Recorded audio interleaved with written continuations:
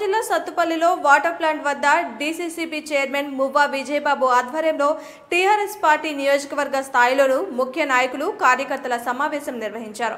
ఈ సమావేశంలో మువ్వా విజయబాబు మాట్లాడుతూ పిడమర్తి రవి గెలుపు కోసం కృషి చేసి ఓడిపోయాం.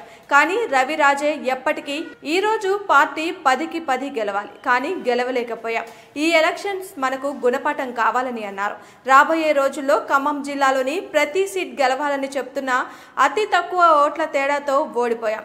మనకు ట్రక్కు గుర్తు కూడా కొంచెం నష్టం కలిగించిందని అన్నారు.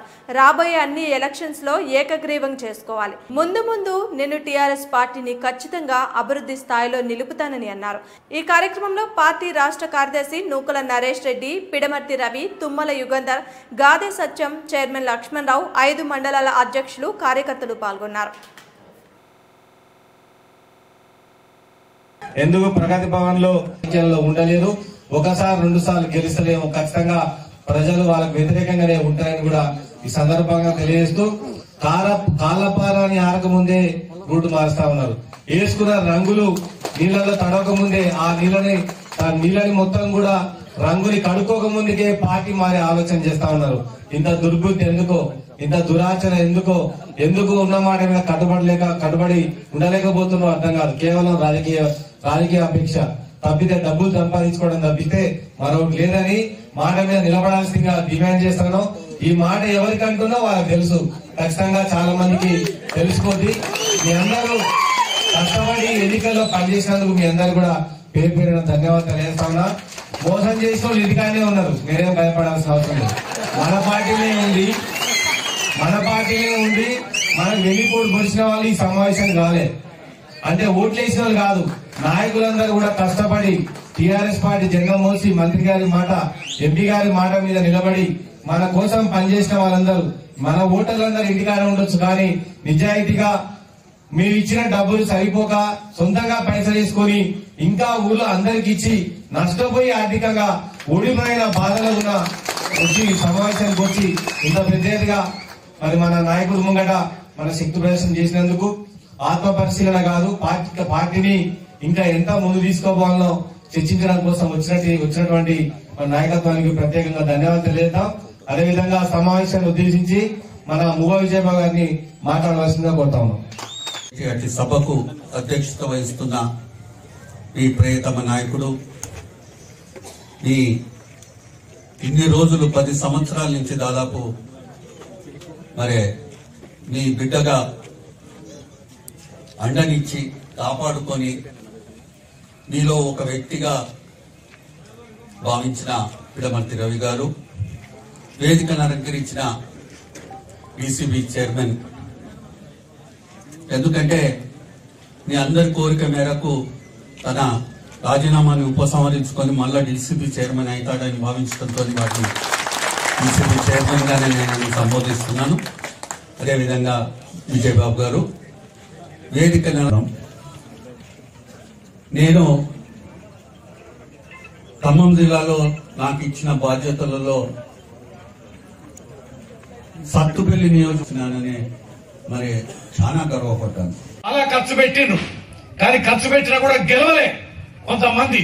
ఎందుకోసం అని అంటే గుర్తుపెట్టు అభివృద్ధి చేసినా ఖర్చు పెట్టినా గెలిచే రోజులుగా ఇవి. ప్రేమగా మాట్లాడాలి అనుకోగా మాట్లాడాలి అందుబాటులో ఉండాలి. నువ్వు తినకపోయినా వెళ్ళే నేనెవరు తినవా అని అడగరు.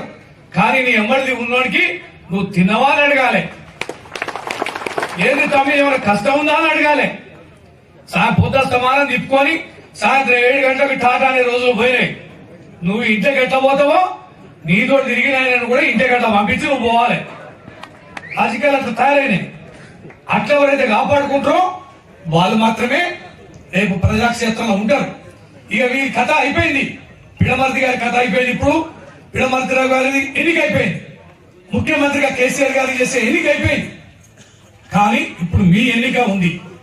దయచేసి మీకు కూడా విజ్ఞప్తి చేస్తాను. ఇంకొక పదిహేను ఇరవై రోజుల సర్పంచ్ ఎన్నికలు ఉంటాయి. ఈ ఓటర్ల నమోదుని మీరెంత తీవ్రంగా పరిగణిస్తారో ఏ గ్రామం నుంచి ఏ మండలం నుంచి మీరు ఇస్తారో అది నూక నరేష్ రెడ్డి గారు చూస్తారు. జిల్లా ఇన్ఛార్జిగా నేను కూడా చూస్తా. మీకు బీఫారాలు ఇచ్చే ముందు నిజంగా సమర్థులకి అన్యాయం జరగకుండా మీరు చూసుకునే బాధ్యత ఉంటుంది. పనిచేసే వాళ్ళు వ్యక్తి పెద్దలు గాయ సత్యం గారు అదేవిధంగా market committee chairman Lakshman Rao garu Kallur మనం ఎలక్షన్లో ఎంతో శ్రమ పెట్టి దాదాపు వంద రోజులు ఆయా గ్రామాల్లో కష్టపడి రవి గెలుపు కోసం కృషి చేసినప్పటికీ కూడా మనకి సత్తుపల్లి నియోజకవర్గంలో నష్టం జరిగింది. మనం ఓడిపోయాం. ఓడిపోయినా పిడమర్తి ఓడిపోయినా రాజే. మీరు అది గమనించుకోవాలి. ఎందుకంటే మన జిల్లా తీర్పు ఉగాది పచ్చడిలాగా రాష్ట్రంలో టీఆర్ఎస్ పార్టీ అధికారంలోకి వచ్చినా కూడా మన జిల్లాలో మాత్రం ఒకే ఒక సీటు గెలవటం జరిగింది. దానికి చాలా మంది నాయకులు నాయకులు ఆత్మ పరిశీలన చేసుకోవాల్సిన అవసరం కూడా ఉంది. ఈ రోజు పార్టీ పదికి పది స్థానాలు గెలవాల్సి ఉన్నప్పటికీ కూడా మరి కొంత మన సమన్వయ లోపం దానిలో భాగంగానే మన పార్టీకి తీవ్రమైనటువంటి నష్టం వాటిల్లిందని కూడా మీకు ఈ సందర్భంగా తెలియజేస్తా ఉన్నా. అయితే సరే ఈ ఎలక్షన్ మనకు గుణపాఠం కావాలి.